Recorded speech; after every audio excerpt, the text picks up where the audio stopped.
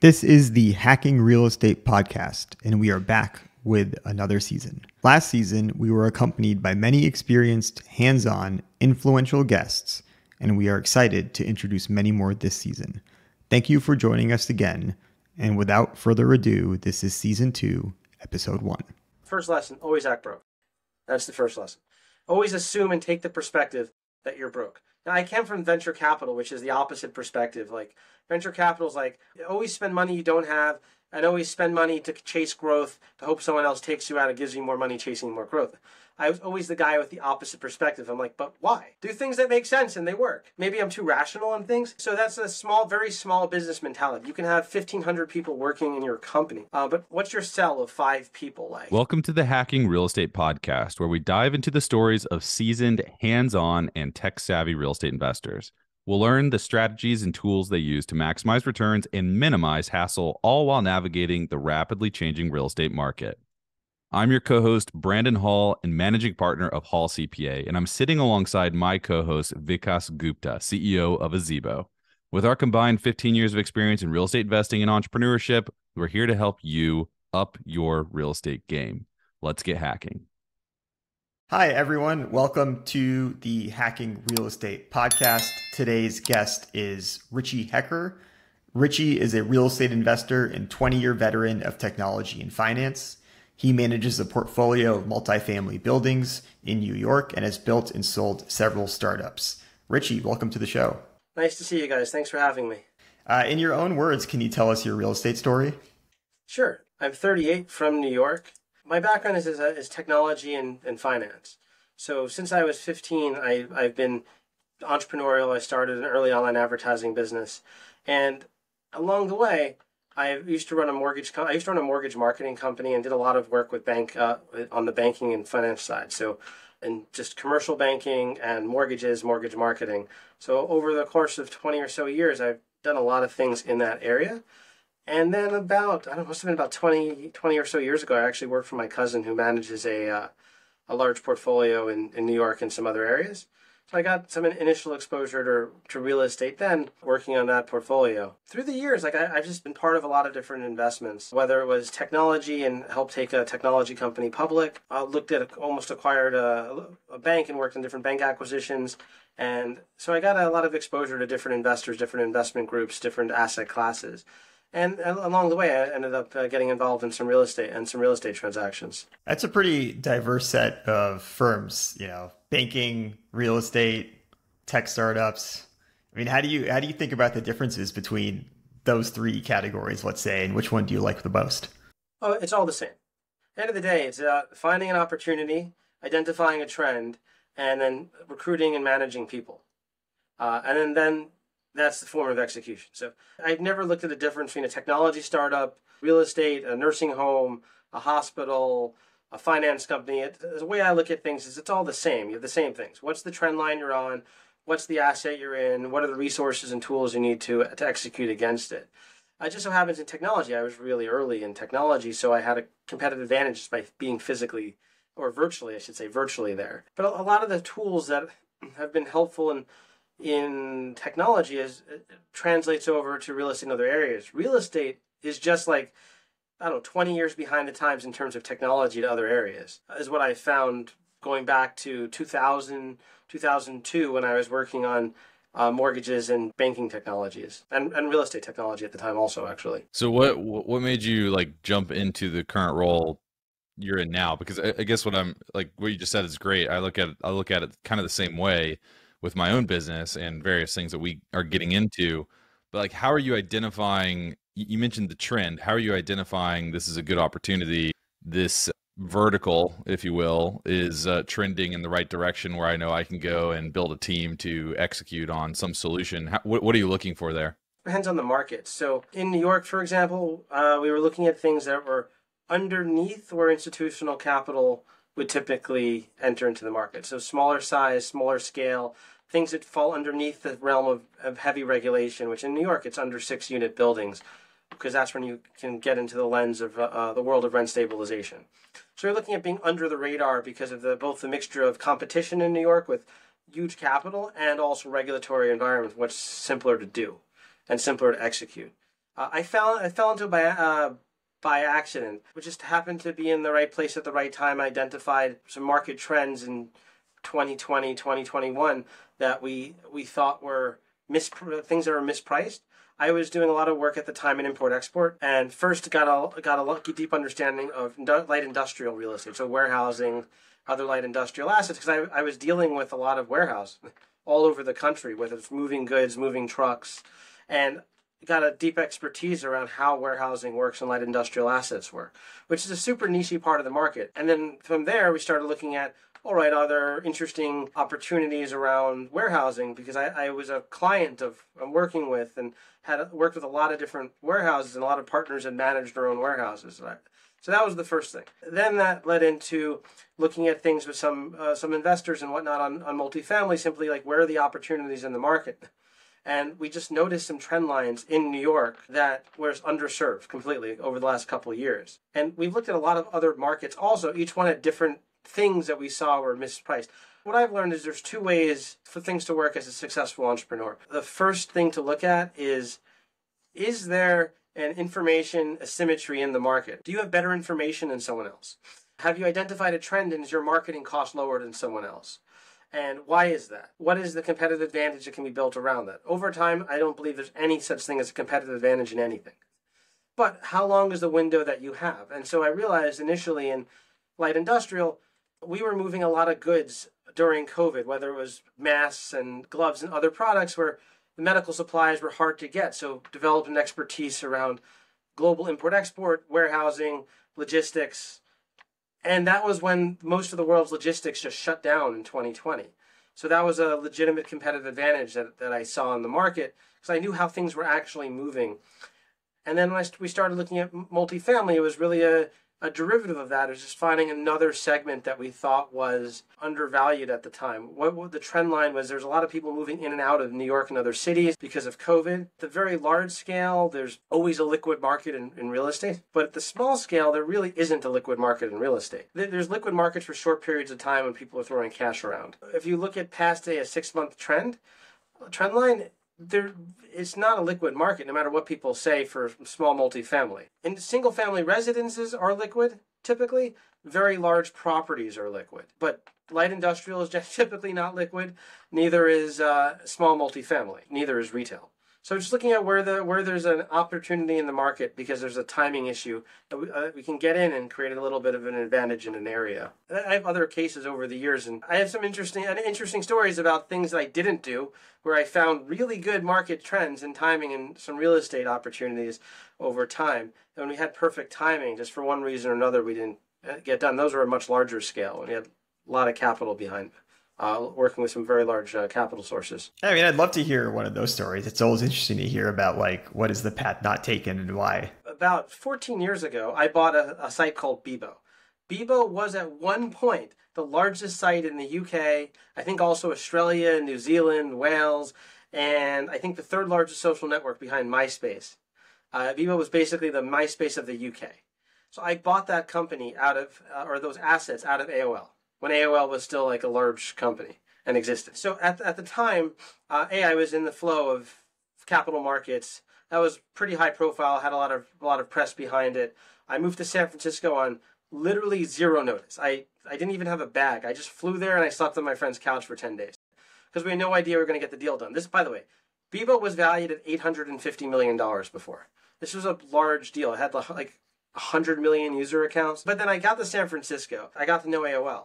So I tried to buy AOL's data centers off of it in a sale leaseback transaction because like you guys are shrinking and you have all these data center assets. So we, we partnered up with a large family office investment group and we started negotiating and came very close to buying their data centers. We had a deal in I think we had a deal in principle with them and somehow it ended up falling through.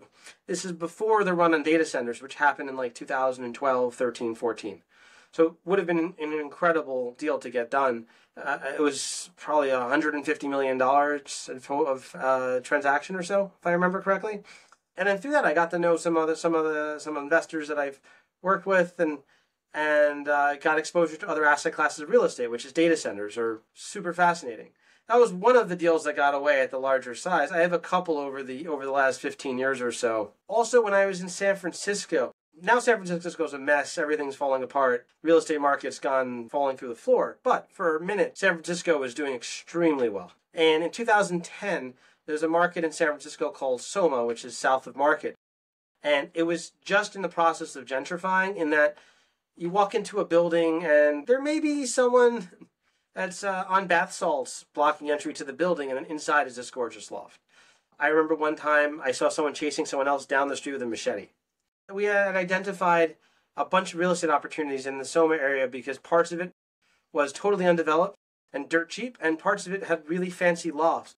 And the only difference was someone put money into turning a formerly de- decrepit building into a fancy loft.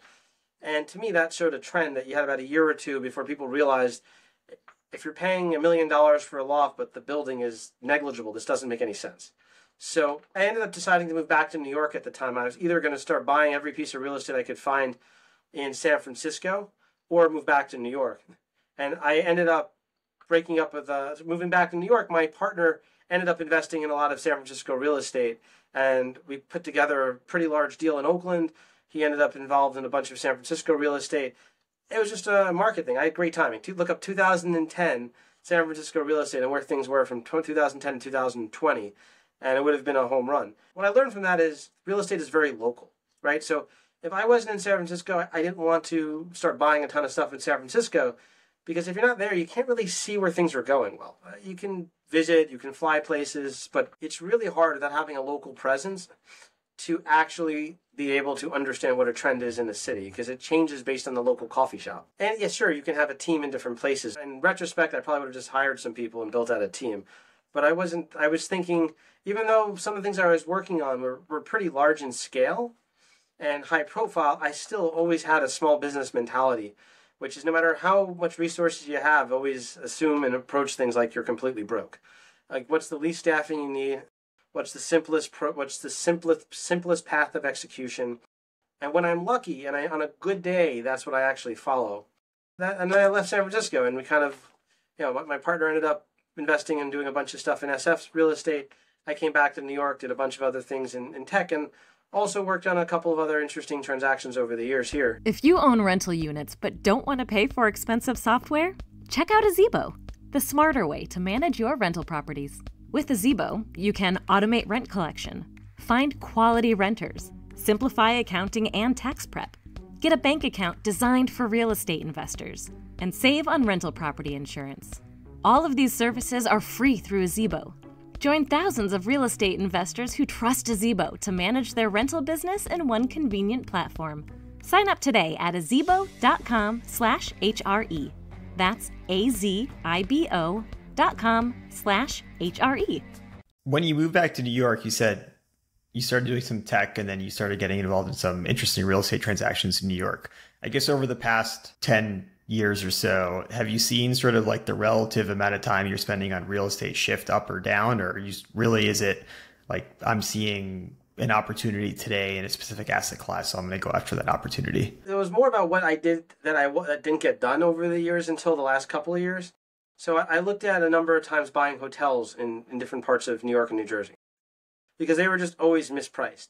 So I used to live in the Lower East Side of Manhattan on top of a Whole Foods, which is at the time like this you know, the shiny tower building in the Lower East Side of Manhattan. And right across the street from me was an old hotel that happened to be owned by an investment firm that friends of mine worked at. We had looked at acquiring this hotel on a really iconic corner of the Lower East Side. Did a lot of the work on it, and, that property, it's kind of funny on things, right? Something, I hadn't managed a hotel, and it was too small to buy and hold and wait. Oh, ultimately, that piece of real estate's worth a fortune now because that was maybe eight or nine years ago in the Lower East Side. It's I don't know how much exponentially it's gone up in value. But the location was incredible. Love the location. I knew it would eventually be something that could be turned into residential, or, or as a hotel, it could go up market. But hotels were down at the time, and it was in a weird sizing to buy. And we looked at a portfolio of a couple of hotels like that. Then I had another crazy deal, which also I didn't do. I, I had the opportunity to buy the Revel Hotel in Atlantic City. The Revel Hotel, Morgan Stanley, I think, put in like $2 billion to build it, like in 2007, 2008. We went out there, we sent a team there. We came this close to buying it. There was an issue with the, uh, what was and I, and we had, I was working with a private equity firm at the time. We had, we had access to the capital to do the deal. It was like a pretty large transaction. way less than the $2 billion they spent to build it. The physical steel and glass was basically worth the purchase price, just the raw materials we took apart the building. But we ended up not coming to terms because it had its own power plant. And this is something I never had ran into in other things I had done in real estate in other areas. But the building had a power plant that was financed and owned by a separate entity. So the building did not own its own power source. And think about that for a second. That is terrible. It was a structured finance transaction where they put the power plant in a special purpose vehicle off to the side. And where things are perfect, that works, but your power cost is preset in a power purchase agreement through the roof. And the power purchase agreement you can't buy out of because it's owned by some random bond investors. You had to take on a terrible, terrible annual commitment of really expensive power to take on buying the hotel. The real estate was valuable and the raw materials were valuable. But we ended up not being able to figure out a way to take on the power plant there. So that one was going big where we could have hired a team. There was known issues at the hotel. We knew what they were because I had stayed there as a guest a bunch of times. And it's super interesting when you get to work on those very large, kind of shiny properties.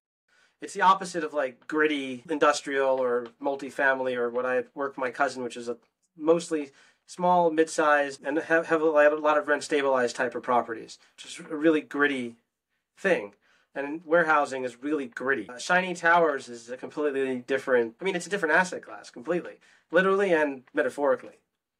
So I, started working on other transactions and I started helping out and advising different things. I looked at a bunch of different real estate technologies over the years for uh, for investors and for my own investments and my own portfolio of stuff. And then over the course of COVID, last little bit, I, I got into it as a focus and trying to make a go of it because of these trends. And long term, I, I, I like it. It's a different kind of risk and a different type of work than what I had done before. I, I, have a bunch of licenses for all sorts of different stuff. I, I got my uh, salesperson's license. I started working with different people on different things. We put we put a couple of deals together and started applying what I had learned from running at sometimes large scale technology assets to real estate. What are some of those lessons that you learned from technology that you've been able to successfully apply in real estate? First lesson always act broke. That's the first lesson. Always assume and take the perspective that you're broke. Now, I came from venture capital, which is the opposite perspective. Like, venture capital is like, always spend money you don't have and always spend money to chase growth to hope someone else takes you out and gives you more money chasing more growth. I was always the guy with the opposite perspective. I'm like, but why? Do things that make sense and they work. Maybe I'm too rational on things. So that's a small, very small business mentality. You can have 1,500 people working in your company, uh, but what's your cell of five people like? How has that mentality helped you uh, over the years? It helps because then you're you're making decisions as if this is the only dollar you have. Do you need to spend money on on this repair? Do you need to hire people to do this, or can I outsource it? So in my in the import export work I was doing, and frankly, I've run multiple outsourcing businesses over the years. So I, I did. We helped Sundance launch their first virtual film festival during COVID, for example, by staffing a on zero notice 70 people for a tech support operation. I got really good at at virtual staff. So how can you staff up reaching out to different service providers? Can you staff how do I outsource reaching out to different building owners? So to see if properties are for sale. Picking up the phone and calling people. So I have we have people in the Philippines that'll pick up the phone, do a lot of research projects, make a lot of phone calls, do a lot of marketing support. So all of that stuff that is expensive to do in the States, which is uh, staff driven, primarily outsourced to the Philippines and other areas where we can do it faster, more, more cost efficient, and in a really organized way. Also, I, I do a lot of uh, email marketing, really good at B2B email marketing. So we figured out a way to develop, we built, developed a system over COVID to reach out to tons and tons of companies for medical supplies and PP, which is our, which is that business. And I applied that to helping and working on creating a process for sourcing real estate opportunities and trying to figure out how to make a run of it and you know figure out what the you know is it something that I'm where I'm, I'm gonna buy or just learning how that works. You know we can call an entire every building owner in a neighborhood I can call in a couple of days really cost effectively and really see if there's an opportunity here.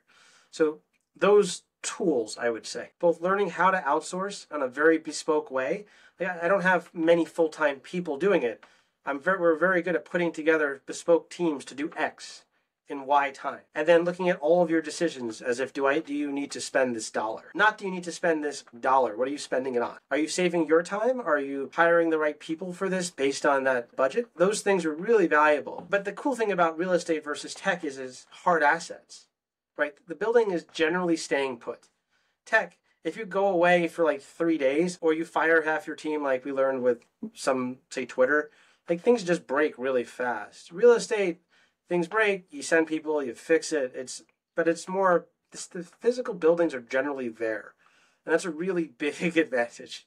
Things are over, it's a 30 year time horizon, not a three month time horizon in tech. Can, can we talk a little bit about the outsourcing? Talk about one or two best practices. Also, talk about where people make mistakes. We outsource uh, at my CPA firm. We we have uh, ten people in India and ten people in the Philippines, and you know I don't think that we've got it necessarily figured out, but we're leaning more and more into that model.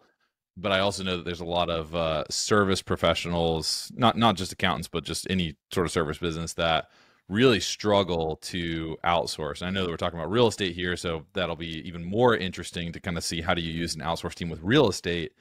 But before we talk about specifically with real estate, I'd love to just kind of know, you know, what are what are a couple best practices in your experience and, and where do people make mistakes when building outsource teams? Biggest mistake in outsourcing is outsourcing. Okay, you'll have to explain that one. Well, there's no such thing. You can have a virtual team in other places, but when people try to outsource, they try to dump typically. Using the word outsource typically means the word dump. And it's hard to dump on your, if you have an assistant or a partner sitting next to you, it's really hard to dump. Here's 30 tasks, just do them. It's 10 times harder to do that when you're outsourcing to another country.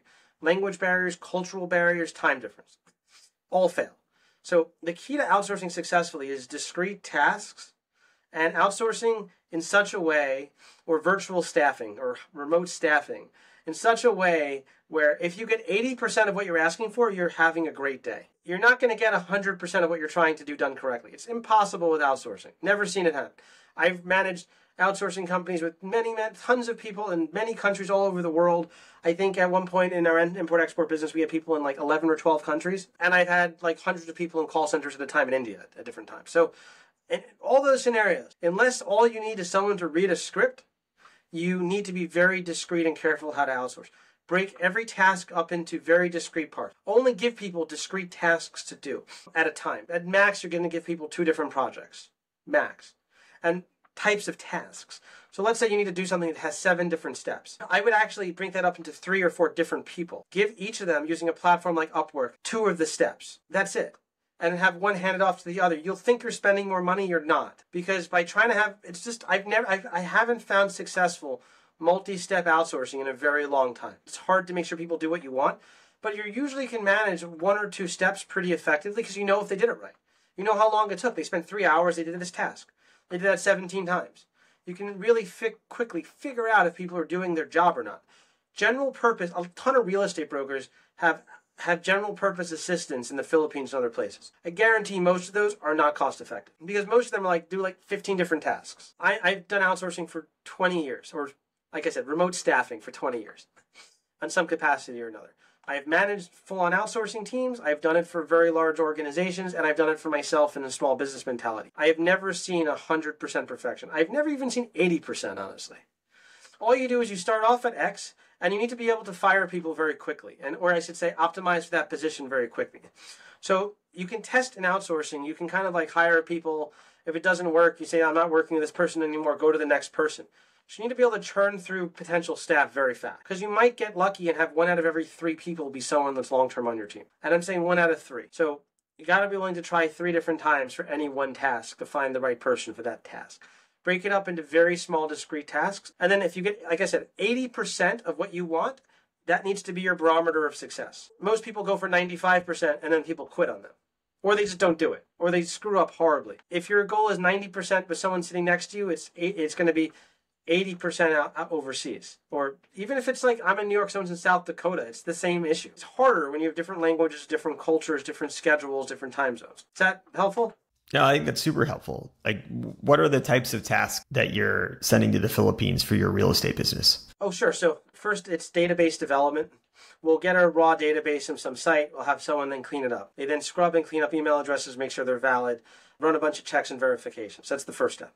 Then we can run a bunch of checks and verifications that phone numbers are valid. Then I might give it to a second person whose job it is to send out emails, com- compliant email. That second person's job is only to send out emails using a very specific process that gets it into the main inboxes. That might be a seven step process, but it's one single process. Then the third person is doing calling. All they're doing is taking that list of, say, 400 people in the neighborhood and calling everybody, say, three or four times until they get a yes, no voicemail answer, whatever. They're calling everybody a few times. So that might be three different people, three different outsourcing tasks. The subtasks, I'm trying, one person is database development and cleanup. Another person is actually cleaning up a second time plus sending out emails. Then the third person is only making phone calls and maybe sending text messages if I, if we have it if we're doing text messaging with it. And that's a very discreet thing. Then if we're doing direct mail or something, it'll be a fourth person that's queuing up and doing that. So a lot of people in the outsource might try to get one person as a marketing assistant. That almost never works.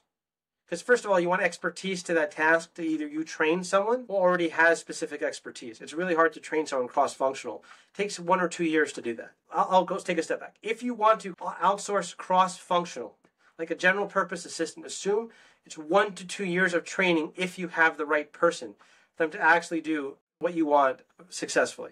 It's the same thing. It takes a year to master any new skill or new industry, generally. Sometimes two it's going to be the same, if not longer, in, in uh, if you're remote staffing or outsourced. And then from a systems perspective, like taking this, you know, lead gen example, for lack of a better word, or, or, do you have a CRM that you're working in with them, or how are you managing this, the systems end of this? We use so many different systems for different things. I have yet to find a single CRM that I like. It doesn't exist. At very large scale, Salesforce is very good if you have the money and it's worth it for you to invest a ton of money in it. Outside of that, every single CRM has significant flaws. I use Google Sheet. We use Google Sheets as a CRM most of the time, and then we use it one system for phone for phone numbers, calls, and text messages called Just Call, virtual with virtual phone number and some automation tools.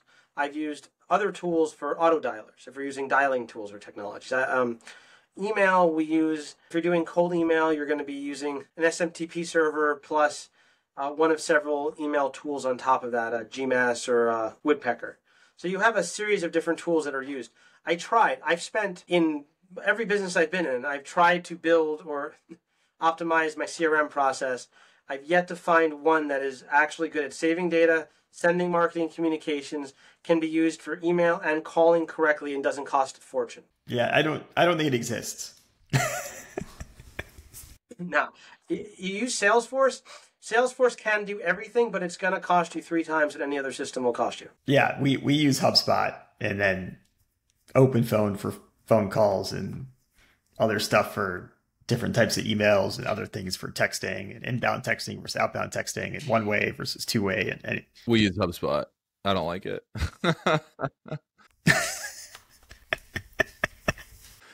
I mean, I, I like I like a lot of HubSpot, but it really stinks from a sales manager perspective. It's great from like an actual rep perspective, but like the data is just incredibly cumbersome to to view on a live basis and so I actually we switched uh, I just rebuilt our entire sales process over the past 3 months and um, we pulled everything out of HubSpot and put it into ClickUp in 2 days and we we we rebuilt our CRM in ClickUp in 2 days. Now our reps use ClickUp primarily and then they they hit HubSpot for like website interactions and stuff. It's like it's annoying, but from a manager perspective, at least, I can kind of see the entire playing field. I can see all the data, I can see all the dashboards, and it's beautiful. But uh, yeah, it's like I agree. There's not a. I'd love to try Salesforce, but it's cost prohibitive. It doesn't make sense for me.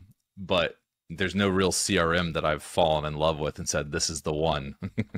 Yeah, we, we, have literally demoed 15 or 20 CRMs in a three month period at one point. There are some ways, if you want to build your own, there are some good engines you can build off of uh, that I found, but none off, none out of the box that does all the seven or eight things you need in a modern CRM. But Just Call is good if you need, if you need very basic outbound dialing, virtual phone numbers, and uh, mass uh, text messages. Just Call is a pretty good. Open Phone is very good for phone numbers and kind of slower slower texting and international numbers. It's, it's good. Yeah, we use open phone for for calling and for for one to one texting. It took us a while to find the right system, but since we adopted open phone, we really liked it.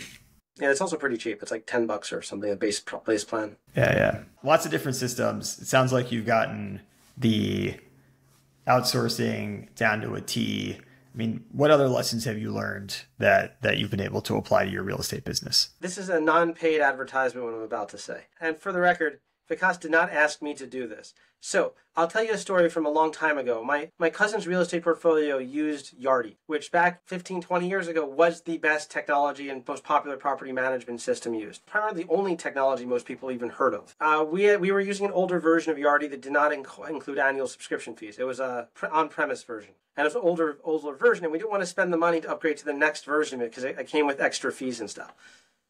So, like, how can we make this version of Yardi more valuable? So, I found the only developer I think that existed that knew how to code on top of and build a module on top of that version of Yardi. I designed a customized process to upgrade that version to the modern version of it so you can track. And for anyone who doesn't know, Yardi does property management. It helps you manage your rent roll uh, and pretty much everything around your rent roll. It was like the first major system in the market. It was expensive too. So, we were using the system and we figured out a way to hack it to basically make the old version the equivalent of the new version of it, which was the challenge that was set up to me. Can you figure out a way to make this version of Yardi as good as the new version? Figured it out. And then I got turned down for the budget to do the project, even though it was pretty inexpensive. And I'll go back to a, a uh, lesson I learned from that experience later, but that was the first thing. Fast forward to modern. It's really important to have a good property management system, specifically around rent collection and rent accounting because if you're in a regulated state like New York, for example, you need a. It's really tricky if you ever have to evict people. It's really tricky to get payments via ACH from people. And so, what's really important is having a system that is designed to get the tenant to opt in. So it's good for the tenant to automate their rent collection and therefore automate your accounting. Because small mistakes in highly regulated states, mainly blue states like New York, are very hard to correct because it's really difficult to evict people. It's really difficult to charge late fees. It's really difficult to charge anything but other very basic late fees on things. You can't legally mandate people to use automated rent collection. You have to simply request they use an automated rent collection. Very nuanced, subtle things of how to present things. So what I found, and we tested every system we can find. We tested Azibo, Baselane, Stessa, we looked at I think apartments.com and like 12 oh, every other one we could find that did automatic rent collection and then that backed into allowing us to do accounting correctly. And we found that Azibo actually was the best from the tenant perspective. The language and copy that was used to encourage a tenant to sign up for automated rent collection is doing the tenant a favor. The copy was written uh, as if they're doing a tenant a favor. Like whoever wrote Azibo's copy, I assume, was not a landlord but a tenant. It actually is doing the tenant a favor to simplify their process. Send them reminders, offer them the ability to have their rental ins- their rental um, renters insurance and and their rent collection on time, so they they avoid fifty dollar late fee that you're allowed to charge in New York. So. We found by testing all the systems, Azibo had the one that was the best from the tenant's perspective, which is really important because you need to make sure people pay their rent and and then you have the data in an organized way and then have the accounting package on the back of that. Now now i'll go back a second. That sounded too much like a commercial. And i know that you guys are working on it. Azibo still needed to actually finish the, the accounting module because it, it's incomplete when it comes to actually being able to properly manage all of it. But it has it's in that direction and getting there. And it was but it was really good from the perspective of getting people to actually pay their rent through the system. And that was the most important feature that ultimately uh, we made the decision on and I, that's what I tried to do hacking Yardi like 15, 20 years ago. And uh, it still wasn't perfect. And now the systems today actually are f- the ones that focus around that as the primary feature, I think will be the most successful in the next five years worth of this worth of these systems. Is that helpful? That's super helpful. You, you did say though that there was a lesson learned that you were going to come back to, so I'm going to remind you to come back to that. As much as I, as much as I enjoy basking in the Azibo praise, uh, this is a lesson learned. I, I, was sitting in my cousin's office, and there was an, an insurance broker there, an old, and very older gentleman at the time, and he was pitching him on letting him under, do some of his insurance in some of the properties. And I'm sitting there on my uh, desk, don't know, a few feet away, listening in. And my, my cousin said a very important lesson there, which is don't don't just listen to what people say. Listen to what you think they mean. Which that means is everybody says one thing, and they most of the time, some of the time, hopefully mean what they say most of the time people say something and they mean that, but also take keep this in mind, the unspoken part of a conversation. And so it's really important to keep the unspoken part in mind. What I learned there by trying, I listened to what the project given to me was, which was can we make Yardi better without spending money on the system, on the new version? And I figured out how to do that, but I missed the point, which is don't spend any money doing this, right? Because it still would have costed me. I would have had an engineer do it. I would have had that engineer to support it. At that point, I'm actually building my own software package. And I'm sure it would have worked great for like two years and then died completely. So I, I listened to the project at the time, which was how do I ha- hack Yardi and make it more modern, but uh, without raising the cost of doing it because we were trying to avoid from upgrade to upgrading the software package. I, I, I did the project, but I missed the point of the project. So I, I, realized that in a few different projects that I had worked on uh, back in that time, I had lessons to learn individually. I was always, when I was younger, I was always rushing. Like, I want to do this today, be done today, never think about it again. But life is a series of incremental improvements, not a series of one off cliffs. Otherwise, you just accidentally jump off them once in a while, which I've done it before. I've had spectacular failures. But if you look at life as a series of incremental improvements, you're much less likely to actually fall off a cliff. So you're much more likely to actually execute successfully when you think about what are you really trying to accomplish, not just what the task is. And then, like what I came back to earlier, which was always act like you're broke. Do you need to spend the money? Because why that matters is maybe today it's fine, but if you built a really expensive mousetrap, a really expensive system, but then your circumstance changes three years from now, you may not have the budget or want to spend the money to support that really expensive system. When you really just need like, I don't know, duct tape and a, a paper clip and like two hours in the Philippines. But because you have this fancy system, you need like seven people and a huge tech budget to support it. I learned that in tech also. Like, build as if you're broke always. Spend as if you're broke. And a lesson I learned from my dad was always always blame it on the accountant, which is like if you're always worried about your budget, always say, I got to check with the accountant before I before I spend money on this. In modern times, it's like no matter what the size, if you're yourself or you have an investment group or you have a partner, or whatever, or an investment committee or a board, doesn't matter. Always act as if you need your accountant's approval. And then whoever it is that advisor, which in 30 years ago, and or if you work with Brandon, it's today, who your accountant is, actually do it. Actually make sure you have a process to double check your expenses. Doesn't matter if you're the decision maker. You always need someone whose job it is to try to convince you not to do something. In a, in a productive way, though. Have you thought about it like this? Do you need to spend on this or can you do this instead? Now, someone who's just saying no to everything and being a curmudgeon is going to backfire, and then you'll end up doing the opposite of what they say, as everyone who's always ever been a two year old has learned when their parents say, no, no, no, no, no, no, no, no, no, you just do the opposite. But having someone whose job it is to be your devil's advocate, test back things, suggest alternatives, look at other ways to do things. It's so valuable. Any size organization.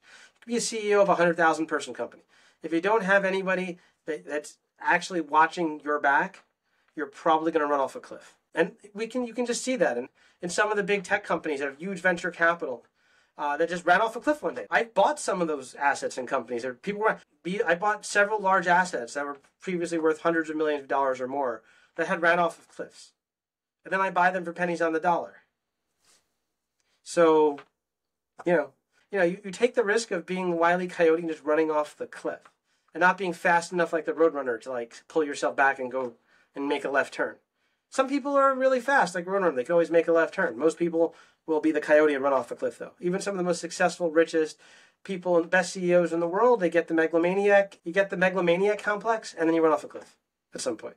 Too many yes men equal cliff. That's great advice. Our our VP of finances every vendor's worst nightmare, worst nightmare, even if sometimes he was a phantom before we hired him. It was still, I need to check with my VP of finance. Let me get back to you. Well, this has been fantastic, Richie. We have three closing questions, if you don't mind, that we like to wrap up every podcast with. Without further ado, question number one is what is your favorite book? And it doesn't have to be real estate related. Catch 22 by Joseph Heller, because the book is nonsense. It is complete and total circular nonsense.